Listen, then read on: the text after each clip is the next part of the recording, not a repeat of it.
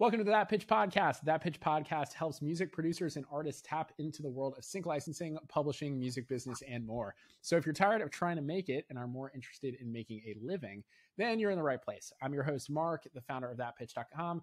Today, I'm joined by Nathan Pauley, a music producer based in Nashville, by way of North Carolina and kind of Virginia, too. Uh, he landed two placements with us this month, and this is actually his first month with that pitch. Uh, dude, Nathan, welcome. What's up, dude? Dude, thanks for having me on, man. I appreciate it. Did you like my smooth intro? Yeah, it was it was so smooth. I try. um, dude, so okay, uh, we talked about it a little bit before recording, but um, so you're kind of from North Carolina, kind of from Virginia. Now you're in Nashville. Tell me about that. You obviously, I'm assuming you moved to Nashville for music specifically. Yes, yeah, definitely. So I kind of grew up doing music. Um, my dad's like a he's like in uh he's like a worship pastor so like i grew up Oh, around nice. church and all that and so i kind of grew up doing a lot of music in the church um and then went to school still did music for a while and then knew i wanted to do like more producing so i just moved here um after kind of getting some connections and just started producing mostly produced like for my band more so um, which it's funny that I got solo piano placements, but I'm more of like a pop producer. so Yeah. funny how that works. But um, yeah, yeah. So that's kind of my brief story, if you will. Oh, that's awesome. Yeah. Yeah. I think we were talking to uh, Curtis Parks uh, last week, um, who actually, funny enough, what this is really funny. He did the opposite move. So he's in Nashville. He or he was from Nashville. He moved uh, to Richmond. So he moved to Virginia. um, also, kind of grew up in CCM, sort of worship music, and um, I think he landed solo piano this month Really? too. And he considers himself primarily a pop producer. So uh, sounds like you guys got to become friends. Yeah, clearly, Just twins. clearly, yeah, um, but yeah, you know the the funny thing about like uh, you know worship music, CCM music is that you know you learn great pop uh, you know pop records. Uh, a lot of the changes are pretty similar in pop music, and um, you learn I'd say enough theory to kind of like work your way around in a lot of like general music, so to speak. Yeah. Um, so I'm not surprised that you landed solo piano because you obviously knew your your way around. Um, if that makes any sense. yeah, yeah. It helps. I guess I, I went to the music school for like a year, and then Oh, where'd you go? I so I went to Liberty University. Um, Okay. Yeah, but I kind of quickly dropped out of the music program and finished with a business degree. so I Cool. I went to uh, Berklee College of Music and I dropped out after a year. So. Yep, that's the way to go. So uh, yeah, I kind of kind of pulled more of that like theory. I guess not really even for this, but um, Right. yeah, it helps sometimes. I don't think it's totally necessary, but it helps. I think I think it's good to learn the rules so then you can know, like, you can be uh, aware of what rules you're breaking. Yeah, Um, I think a lot of people pursue music, and I, th- let me know if you disagree with this, but I think a lot of people pursue music and they're like, oh, you know, it doesn't matter. You don't need to get trained on any of this stuff or whatever. And I think like that can make sense, but I think, you know, I'm all for education and like every single uh, avenue that it, it shows up. Yeah. And so I think if you're going to break rules in music theory, it's a lot better to understand what rules you're breaking, you know? Totally. Um, because you can only really have the bill, like, it, it, like, if you're breaking rules all the time, then the record's not going to make any sense and nobody's going to listen to it. But exactly. if you break it for a specific reason, you know why you're doing it. I think that's really powerful, you know? Totally. Yeah. I think my thing is I'm always more concerned about just if it sounds good. Like Right. I don't really care about the rules that much. Granted, like kind of like have been taught the rules, so like I'm Well, it's not kind of built in now. Yeah. You know? Yeah, so it's kind of hard to imagine life without the rules, if that makes sense. but I'm more concerned about, hey, does this like sonically sound good? That's like Yeah. more my thing. Then is it doing what I needed to do? yes You know? yeah yeah so but yeah I love that. So you moved out to Nashville. Yeah. Um, you said you're in a band. Are you producing clients out there? How's the career going? What's what's up with that? What are what are your kind of pursuits right now? yeah man um so i moved out here in 2019 and i kind of have done like some traveling um granted like traveling's kind of been here and there with touring COVID. that kind of Yeah. thing but yeah. I was wild, dude. I was like backpacking during COVID. I went down to Panama. I, I sat my ass at home so uh uh, I tried. Well, once uh, once my wife and I got vaxxed and double vaxxed and Yeah. boosted, and we got it, we're just like, all right, we're a cesspool, and Totally. we know how this is. This is we we know how we're going to experience it at least. Yeah. Um. so we'll be as safe as we can to protect everybody else, but it's like we know what we're up against, so totally let's just fucking do it. Let's Totally. go. Yeah, yeah. So, but COVID kind of obviously changed stuff. I was kind of more focused on, um, you know, producing after COVID hit because you know everything, everything touring wise like changed, but in the studio things were at least manageable. You know, so Okay. but- So just did. You were like, hey, I'm just gonna control what I can control Yeah. right now. yeah kind of um but yeah i produce mostly for my band and then i have a few other clients um that i produce for as well um it's kind of weird in nashville it's like you kind of get to know like everybody and at some point you work with somebody for like a little bit and then you just like kind of continually have new people that you're working with. Um so i i've kind of like tried to like in the past year or two like completely filter out any like touring anything like that and Okay. do more so producing songwriting that kind of thing. Um so yeah that's Do kind of been my focus recently. Do you would you say like so when i when i started um making like an a- active effort to play a little bit less live i guess it's not that i wanted to play less it's that i just became a lot more selective with the with the shows i was playing Yeah. um where it's like hey because i'm primarily a drummer i got into producing now i'm in licensing so it's you know that there's the career transition but Yeah. um what I kind of found is like when I became a lot more selective with what gigs I took as a drummer, um, it kind of opened me up to so much more ability to produce. And yeah I don't know about you, but like I I felt like when I was a drummer and just an instrumentalist, it was very hard for me to have a lot of um power over my own career because I was you know, not always if you know I had session work or I was teaching, but 9 times out of 10 I was dependent on somebody else, you know, for the tour because I'm not, Mhm. you know, nobody's showing up for a drummer. They want a, a band or an artist. Um, so I would have to wait for the call or whatever. Or I was playing gigs like, you know, cover gigs and wedding gigs that I Yeah. hated. When I when I started really going in towards production, I just kind of realized like how much more control I had over it. And that itself was such a freeing aspect for pursuing, you know, my career in music. Did you kind of find find that to be the same in in uh, you know, your uh career steps and, and pivots? Because I feel like everybody has pivots over time, yeah for different reasons. No, I think I think it's weird because you kind of have to figure out in any kind of relationship. I'm always trying to figure like working relationship. I'm trying to figure out who is working for who. So it's like Personal too, bro. No, yes, no, but for real though, like um, like you're saying, like when you're on a tour, you're working for the artist. When you're a producer, you're still working for the artist. Um, at least that's how I think of it. Now there is like obviously licensing stuff is like kind of just making whatever you want to. That's why I love doing stuff with my band is because I'm like I have an equal. It's not like a client relationship. It's more like a hey, these are the friends that I make music with. And in a lot of ways, like I still just make music with my friends, and like I'm just, you know, we're just kind of making stuff up together. But I think like it is interesting because I do really believe in the saying no to things so you can say yes to the right things. Right. Um, and that's something that I I learned a while back because like just to be honest with you, like I am not really a country music guy.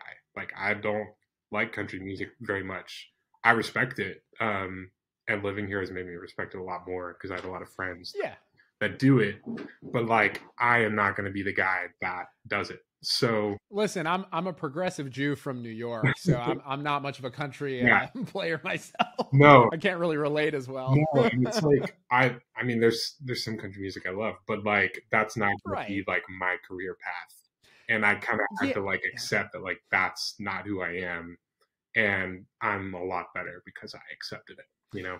when when I was at school, um, I got really lucky early on to have like the mentors I did. I think in music, mentorship is so important. You know, Yeah, um, because you know you can take courses, you can go to school, but I think a mentor or somebody who's looking out for you, they know your situation and they're like, you know, they they they give you the the advice you need to hear, whether or not you you want to hear it at that point.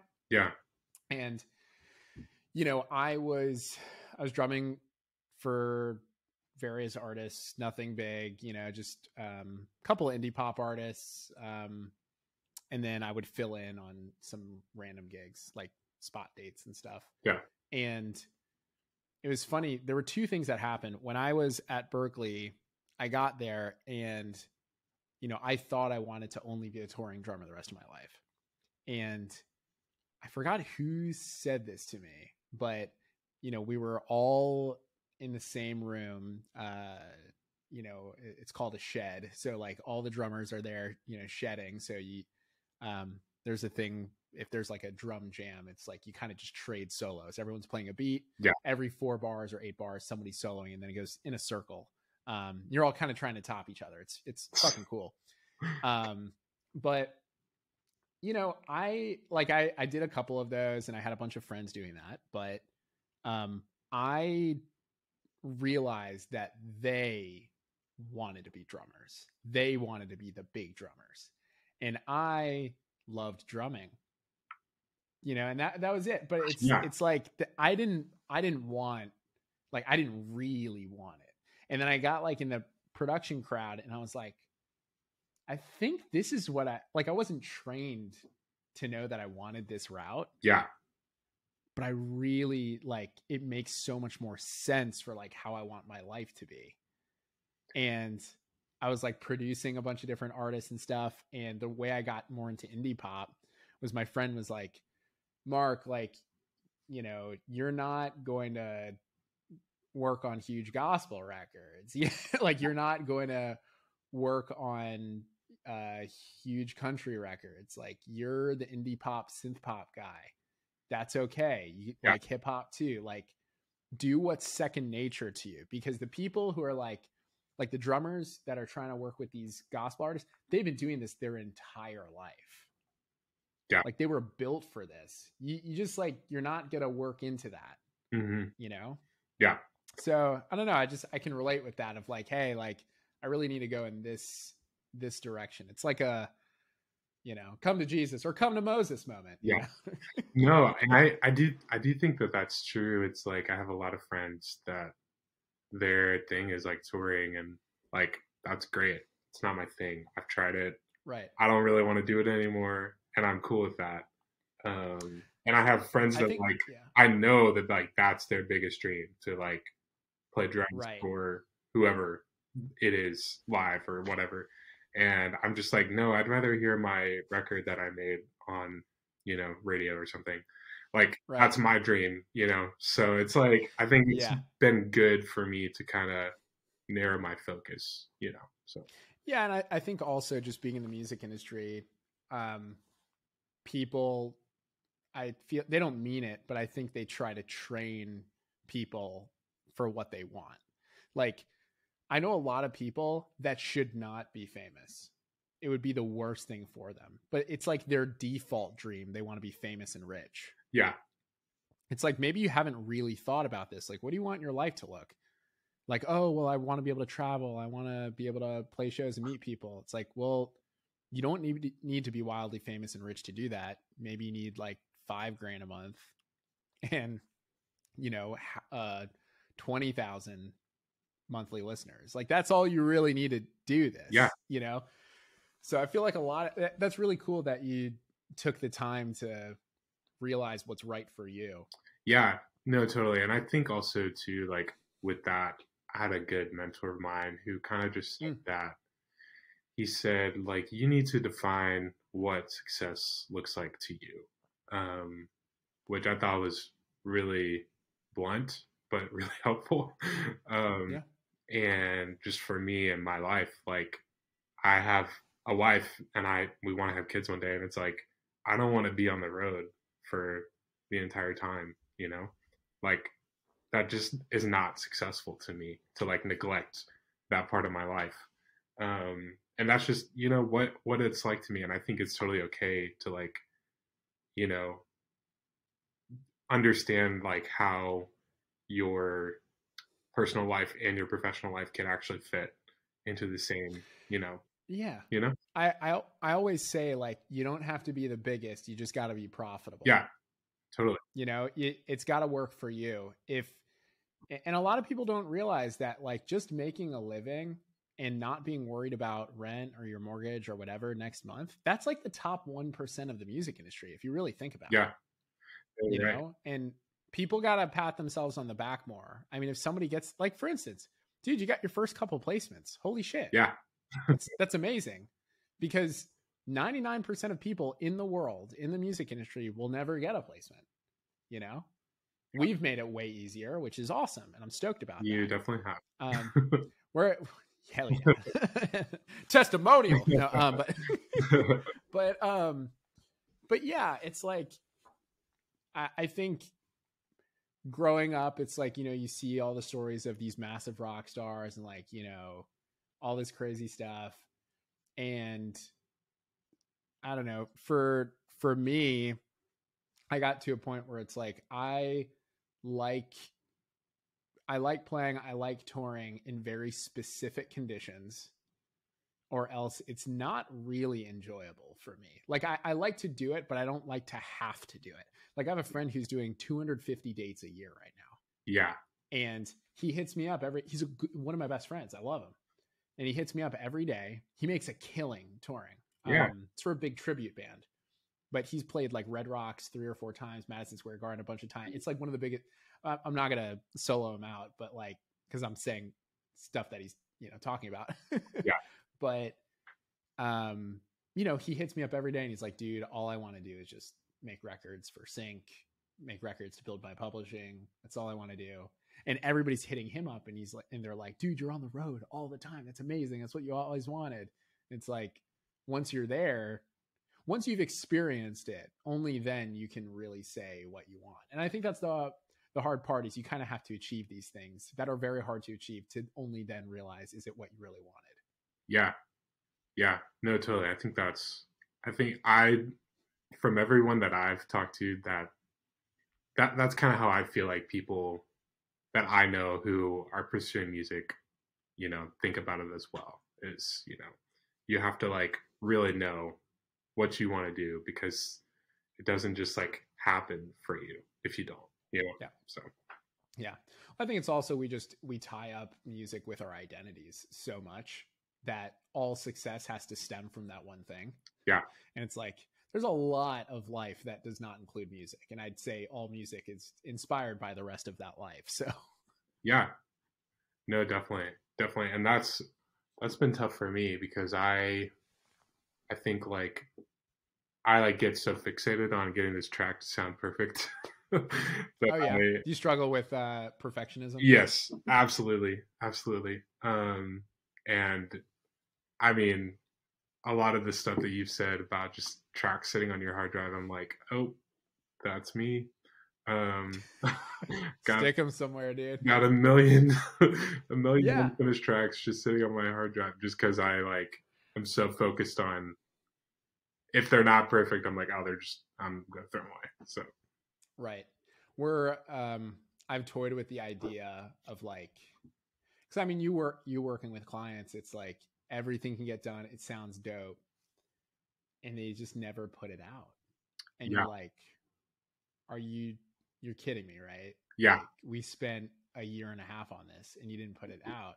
And it they don't they're not trying to be rude or anything like that, but you're just it all comes down to like I mean a lot of it's insecurities, you know, of like how are people going to judge this? What if it doesn't have any views?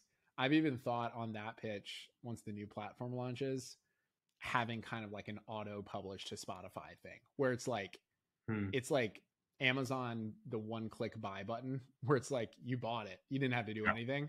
Yeah. It's like as soon as it gets uploaded, it's gonna like default to release. you have to Mhm. opt out If of releasing was that easy, Well, if you that'd be like great. distro DistroKid's amazing. I love DistroKid. Yeah. Um, Phil Kaplan's a hero of mine. He's an awesome dude. He's helped so many people make so much money in music.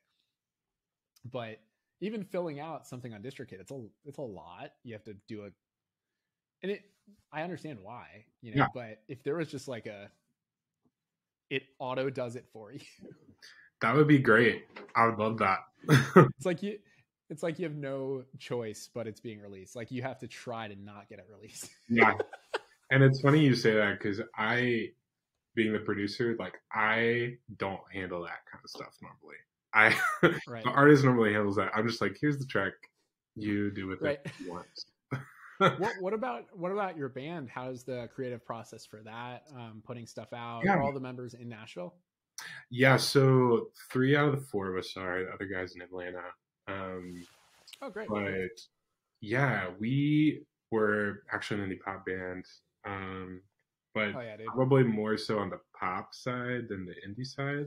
If that makes Eh, sense. it's it's I honestly, dude, I'm like a synth pop guy. It's Yeah. just who the fuck uses that term? Everybody Exactly. uses indie pop. Exactly. Exactly.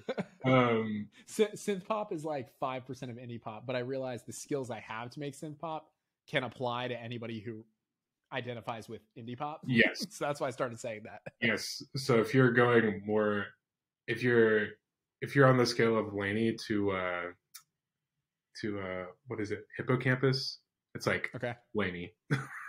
nice. pretty pretty close All- there. But all the shit I make is like hundred percent passion pit and kids of eighty eight. Okay. Like that's how Okay. everything sounds. I feel that. I feel that. I can't I can't help it. I try to work on other things and You Yeah, I- at this point shouldn't help it. I know it's like at this point I just get hired like for hip hop records to make something sound dirtier. And I'm like, I guess that's that's gonna be the legacy I leave in production. Look, somebody's got to do it. Somebody I'm dude, I'm like I'm like dirty jobs, bro. So dirty job and somebody's gotta do it. yeah. Um, what was the question? Oh, with our band. So Yeah, yeah. yeah, we um honestly, that's still kind of a question we're trying to figure out. Is like how our creative process works. Every song is honestly different for us. Um, oh, I'm so sorry.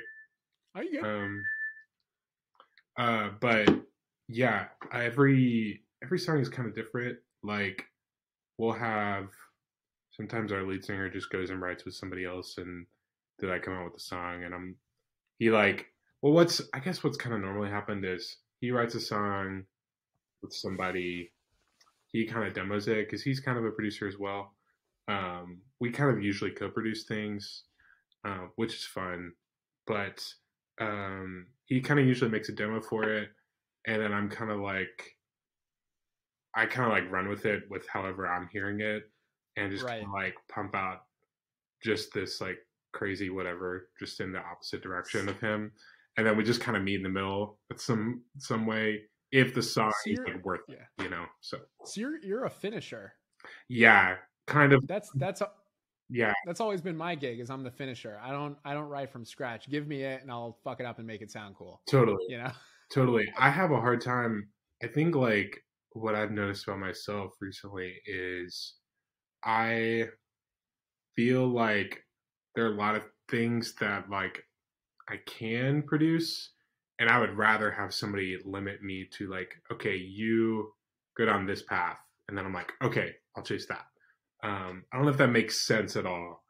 It makes it makes complete sense, man. I can't work from scratch. I actually hate it. It's I need someone I, that's when I realized I was a finisher, and that's actually like a really valued skill in in production. I don't make anything from scratch. If somebody uh, wants to hire me to do that, I typically refer them to somebody else. Yeah, I'm like, I'm not a writer. I don't start from scratch. I don't, you know, I you give me something and I thicken it up to make it sound how you need it to sound. Yeah, that's that's been my gig. Yeah, and that's kind of why it's hard um to like it's it's been like kind of a challenge to figure out what our sound is, which we've like developed in the past, but you know, as always, every good band like changes. So right. it's like, yeah. what are we as changing to? How is that working? And it's always it's always really fun when you find your group of people that you can work well with and you can come out with good products with. Um, it's the best. But yeah, I've never like really put words to saying that I'm a finisher, but it makes me feel makes me feel good. oh, dude! As as soon as I committed down that path, it's like it was so great because um, I didn't even know that was like a term. Yeah. And uh, one of my buddies up in New York, uh, producer, uh, had a long. Uh, now, now I think he he's like really in publishing, like in music tech or something. Mm-hmm. But had been working with uh, Roc Nation, uh, a couple other uh, labels up there. Um, lot of cuts and great guy. And there was always like a lot of people uh, on the production together. And um, I was like, "So what do you do?" And he's like, "Oh, I'm a finisher."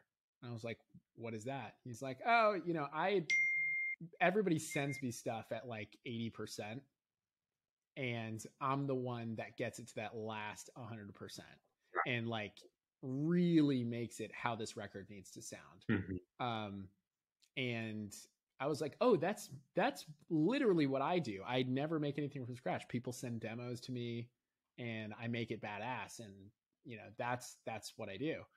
And he was like, oh yeah, you're a finisher. That's what like we all call it. Like that's what I get. Like people hit me up to hire a finisher. That's a thing. Yeah.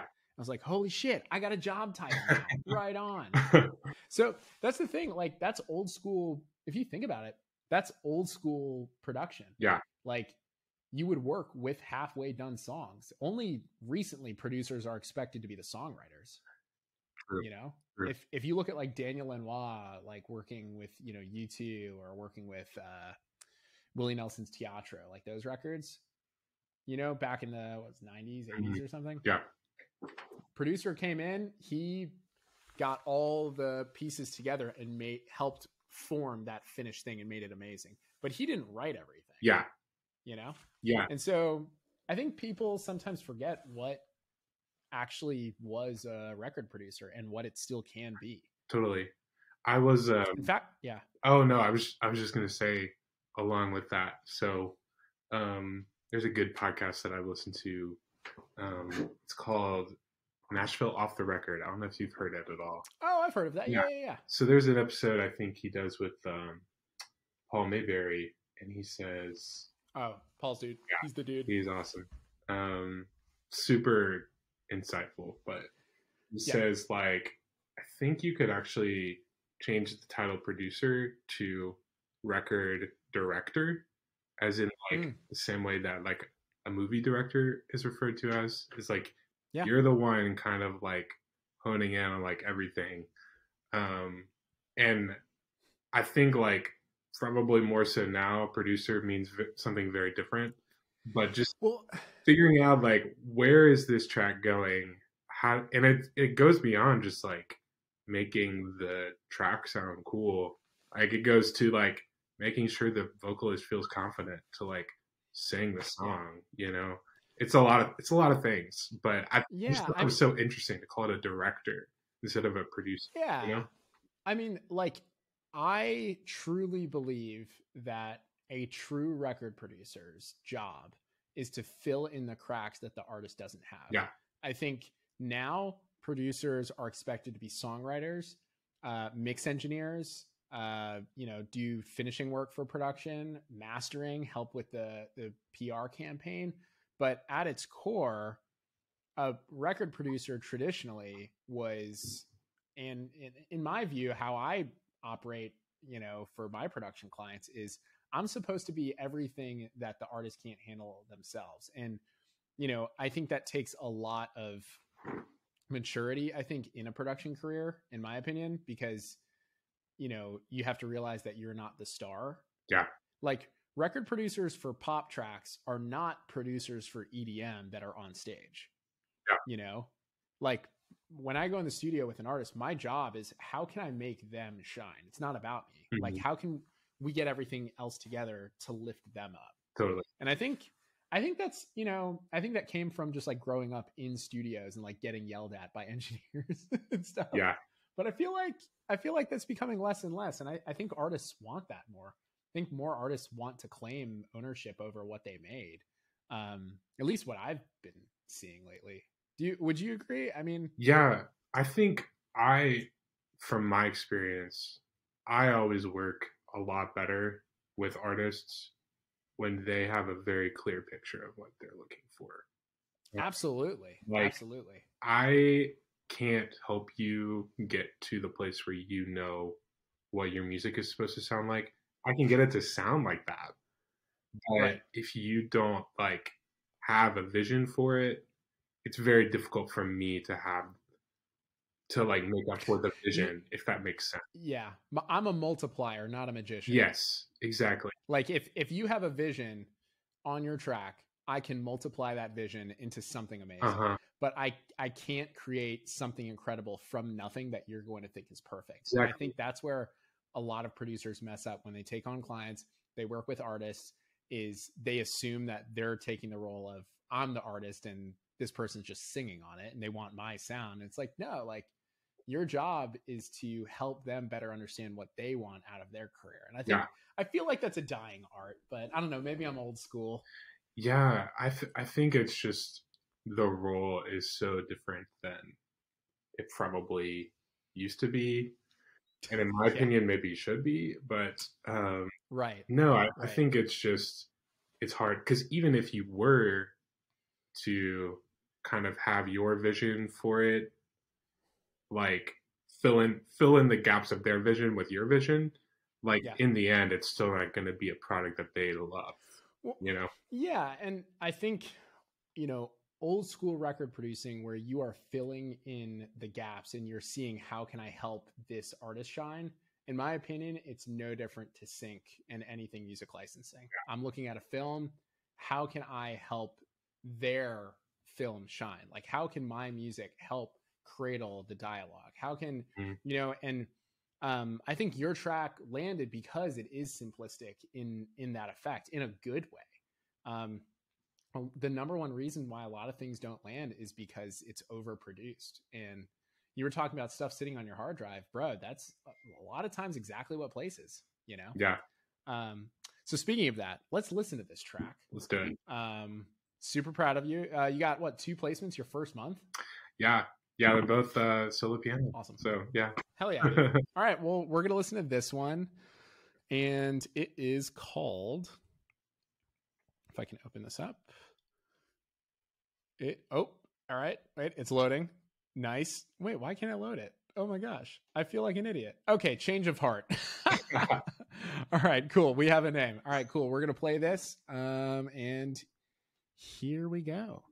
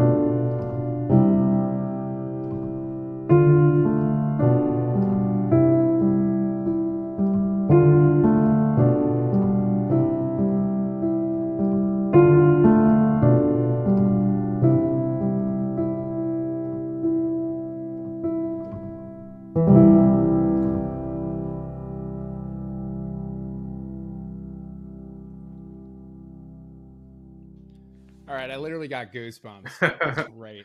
Thanks. Um, Thanks.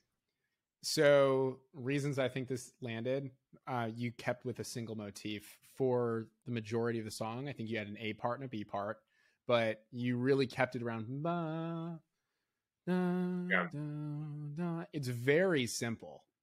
Like, and I would even argue it doesn't even really get that stuck in your head. It's catchy enough where, like, it's, you know, harmonically sound, you know, Yeah. but it can take its place while other things are going on. And I'm just going to go on a go out on a limb here, but I guarantee you in the past, eh, maybe I don't know, played this live in uh in church. I can imagine while people are like coming up while there's like Yep. a silent area. Yep, they're like getting communion or you know uh which whichever flavor of the faith you uh you're part of, you know, like that Yeah. like you know that or while people are being seated. It's Yeah.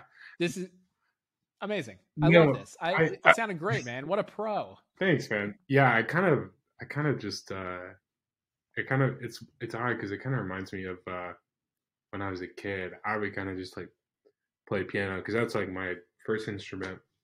That was my first instrument too, man. Yeah, my mom, she's like, she would play in church all the time and just like make up stuff. And I like, Yep. growing up, I was like, I don't know how you really do that. And then now that's pretty much what I do constantly. Yep. So My my mom was a piano teacher growing Yeah. up, so very very similar. Yeah, Yeah, my moms. mom- Moms are great. was a piano teacher, but she did not teach me how to play piano, oddly enough. So You know what?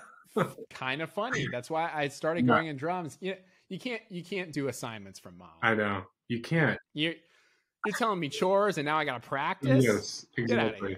Exactly. No, but I kind of, I like was ho- on the whole like, like learn music, like sheet music, and then I was like, I don't like this. I want to do my own thing. So Right. that's kind of where I started. But yeah, it's a it's good to like kind of make things simple and strip it back. I think I like for most of these solo piano ones that I do, I just kind of like sit at the piano, kind of try to make something up, and then you know hit record. That's pretty much it. Hell yeah. So, yeah. Love that. yeah, That's amazing, man. Well, it sounded awesome. Um, something I I like to kind of ask before you know we close up shop, so to speak. Um, obviously, you're pursuing music. You're in Nashville, in a band, making a bunch of music, landing placements, kicking ass. What advice would you have for anybody pursuing music, um, creatively or or their career, just anything, something that's helped you? Um, I think something that's really helped me um, is, and this was just kind of more so taught to me than uh, than said to me. But oh, I guess in a saying, less is more. Um, musically, to me at least, that's how I that's how I view it. Um, just that less is more. And I've had a lot of teachers that have taught me that the less the less stuff that you do, the more impactful it can be. So just the way that I see music is the more simple, the better. So Mm. There, there's a saying that um, silence gets you the most attention. Yeah. You know, so uh, people miss when there's no sound there, so they're they're eager to to listen a little bit more. know? Totally. So Totally. love that, man. Spa- space is a tool for sure. Um, and lastly, you got any pluggables? Anywhere uh, you want anybody to go? Uh, reach out if they want to license something directly from you, or just say what's up and uh, I don't know, buy you a coffee. How do they reach out? I mean, my Instagram He takes coffee, everyone. probably the best. Um, yeah, just at Nathan underscore Pauley. Um, other than that, just my band. Um, it's a really big project of mine. Um, we're just ANX, um, just the letters ANX. But Awesome. um, yeah, man. Any specific tracks we should listen to? Um, uh, probably our newest. It's the best, I think. Sick. What song is it's it? It's called Chance It. Chanted by ANX. Definitely uh, check that out. Yeah. And uh, hit up Nathan underscore Pauley on Instagram. Uh, Nathan, thank you so much for taking your time with us today. Uh, again, congrats on your placement, bro, or placements, bro. First month, yeah. killing it. So proud Thanks, of you, man. man. Thanks. It's it's uh, great to talk to you, man. Appreciate it. Awesome, dude.